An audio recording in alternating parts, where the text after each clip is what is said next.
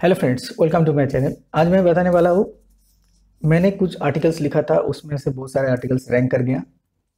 अभी ये रैंकिंग कैसे हुआ कीवर्ड रिसर्च कैसे किया, ये सारे चीज़ हम बताएँगे। एक पार्ट में नहीं होगा, मैं इसका डायग्राम बना के दूसरे मांग दूँगा।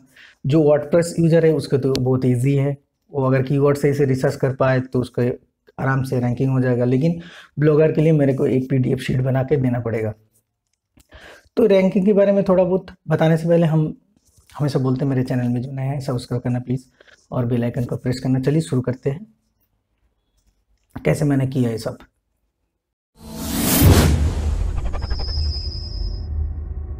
Please subscribe my channel and press the bell icon for more video. Hello friends तो पहले बता देता हूँ मेरा वेबसाइट में यह सर्च करूँगा। ये मेरा वेबसाइट है। मैं उस टाइम वेबसाइट के बारे में कुछ नहीं पता था मेरे को। एकदम ज़ीरो नॉलेज था मेरे पास। तो एक डेढ़ साल, एक साल पहले की बात है, एक साल, दो महीना शायद हो गया। अगर आप चेक कर सकते हो इसकी। टाइम जो स्कोर में जैसे S S D A P A वगैरह स्कोर वगैरह जैसे वेबसाइट है, उसमें जगह चेक कर सकते हो। तो इसमें मैंने इस वेबसाइट में बनाया था।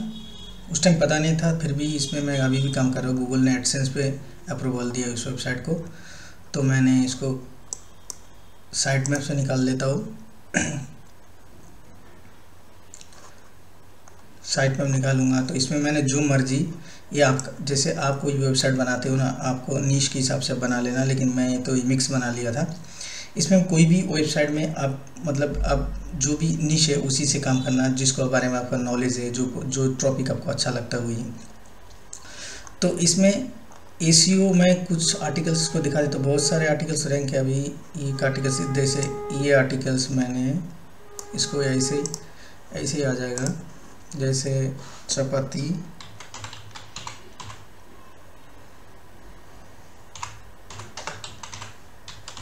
डाइट जैसे chapati diet for quick weight loss इसमें मैंने आर्टिकल्स लिखा था। तो मेरे आर्टिकल्स सेकेंड पोजीशन में रैंक हो रहे ये सेकंड पोजीशन है।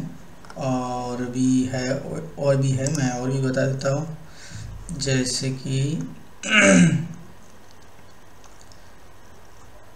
how to get first ClickBank commission step by step मैं इसको भी बताया था। देखते हैं इस ए रैंक किया कि नहीं कॉपी और मैंने इसमें सर्च करते हैं। Paste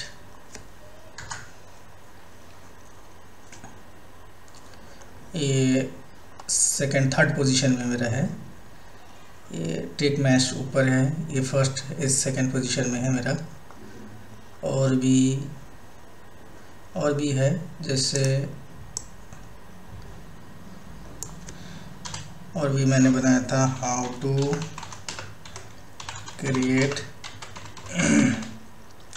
ClickBank sorry ClickBank account in India 2020 India देता हूँ। देखो आता कि नहीं। देखो, ये स्नीपैड में आ गया। उसके बाद और क्या दो how to add money and PayPal PayPal और भी एक टाइप करता हूँ। इसमें भी, इसमें पेपल में पेपल इसमें नहीं आया। पेपल इन इंडिया का देता हूँ। सॉरी इंडिया देना भूल गया। तो इंडिया का दोगे तो ये मेरा आ जाएगा। ठीक है, ये इंडिया का है, ये भी रैंक कर गया। तो क्यों दिखा रहा था मैं, कोई खास वजह नहीं है। रैंकिंग में आपको यह है, अगर वर्डप्रेस में हो, अगर सही कीवर्ड आपने फाइंड किया मेन कीवर्ड होता है और कुछ नहीं। मेन कीवर्ड फाइंड करना, उसकी वॉल्यूम उसकी बैकलिंग सारे चीज़ आरएफ से, सबसे बेस्ट है आरएफ टूल है। और एक दिन के लिए आर एफ़ कैसे लेना है, मैं एक वीडियो का लिंक डाल दूँगा डिस्क्रिप्शन में आई बटन में भी, उसमें से देख लेना। तो उसका आरएफ को यूज़ करके आप कीवर्ड फाइंड कर सकते हो सही से। एक मैं सो, सोच रहा हूँ एक वीडियो बनाऊँगा जिसमें कीवर्ड कैसे फाइंड करता है जिसको नया नया ब्लॉगर है नया नया वेबसाइट बनाया है उसका कीवर्ड कैसे रैंकिंग होता है फ़र्स्ट रैंकिंग होता है और बैकलिंग की इतना ज़रूरत नहीं पड़ता। मैं बैकलिंग का प्लेलिस्ट भी बनाया उसमें जाके आप आराम से बैकलिंग बना सकते हो ज़्यादा नहीं। बीस पच्चीस बैकलिंग बना लोगे तो आराम से रैंकिंग हो जाएगा। ठीक? तो ये सारे चीज़ कैसे होगा? मैं नेक्स्ट वीडियो में बना बताऊँगा, एक बनाऊँगा कीवर्ड रिसर्च के ऊपर और दूसरा सोच रहे हैं हम एक पीडीएफ शीट बना के उसको हम प्रोवाइड करेंगे किसको? जो ब्लॉगर है। ब्लॉगर तो कभी वर्डप्रेस का बराबर ही नहीं कर सकता, फिर भी अगर ब्लॉगिंग में भी जैसे ब्लॉगर में कोई आर्टिकल्स लिखता है, किसी के बारे में नॉलेज है, अगर वो खुद से लिखता है कोई चीज़, जैसे खुद से अगर कोई आर्टिकल्स लिख लेता है वो अगर वो यूनिक होगा तो आज नहीं, कल तो एक साल हो, डेढ़ साल हो, अगर छः महीने हो, वो रैंकिंग करेगा ही करेगा। ये हंड्रेड परसेंट है। लेकिन उसमें उसमें क्या है? आपको ये सोचना पड़ेगा, बंदा आगे वाला पढ़ रहा है तो उसको कैसे लग रहा है? कैसे आपको हमेशा कोई आर्टिकल्स डालने के बाद आपको आराम से पढ़ना है, आपको कोई कीवर्ड तो मतलब आपका जो ट्रॉपिक है उसमें मेन टॉपिक में है कि नहीं आप बंदे को समझ पा रहे हो मतलब आगे के बंदा आपका आर्टिकल से पढ़ के क्या आंसर आ रहा है? जैसे आप खुद पढ़ोगे उस आर्टिकल आपको कैसे लगेगा? बंदे को इंटरेस्टिंग आना चाहिए। जैसे आप, आपको आठ दस लाइन लिखा तो ठीक ठाक लिखा, फिर दूसरे से कॉपी पेस्ट कर दिया, ऐसे कभी भी रैंकिंग नहीं होगा। ठीक? तो यही बताना था, कैसे रैंकिंग मोटा मोटी होता है। तो मेन मैं यही बता रहा हूँ, पहले आपको कीवर्ड फाइंड करना है।